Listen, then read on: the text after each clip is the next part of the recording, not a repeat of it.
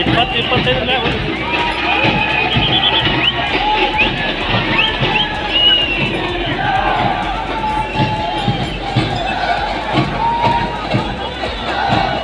ಅಥಣಿ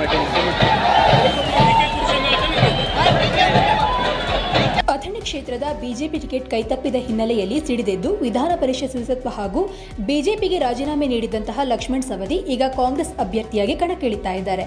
ಈ ಹಿನ್ನೆಲೆಯಲ್ಲಿ ಇಂದು ನಾಮಪತ್ರ ಸಲ್ಲಿಸಿದ್ದು ಇದಕ್ಕೂ ಮುನ್ನ ಲಕ್ಷ್ಮಣ್ ಸವದಿ ನಿವಾಸದಿಂದ ಬೃಹತ್ ರೋಡ್ ಶೋ ನಡೆಸಲಾಗಿದ್ದು ಶಕ್ತಿ ಪ್ರದರ್ಶನವನ್ನು ಮಾಡಲಾಗಿದೆ. ಸಾವಿರಾರು ಸಂಖ್ಯೆಯಲ್ಲಿ ಕಾಂಗ್ರೆಸ್ ಕಾರ್ಯಕರ್ತರು ಲಕ್ಷ್ಮಣ ಸವದಿ ಅಭಿಮಾನಿಗಳು ಈ ಸಂದರ್ಭದಲ್ಲಿ ಹಾಜರಿದ್ದರು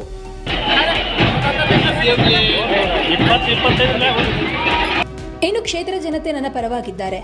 ಈ ಬಾರಿ ನನ್ನ ಗೆಲುವು ಖಚಿತವಾಗಿದ್ದು, ಇಂದು ಸೇರಿದಂತಹ ಜನರೇ ಇದಕ್ಕೆ ಸಾಕ್ಷಿಯಾಗಿದ್ದಾರೆ ಅಂತ ಲಕ್ಷ್ಮಣ್ ಸವದಿ ಹೇಳಿದ್ದಾರೆ.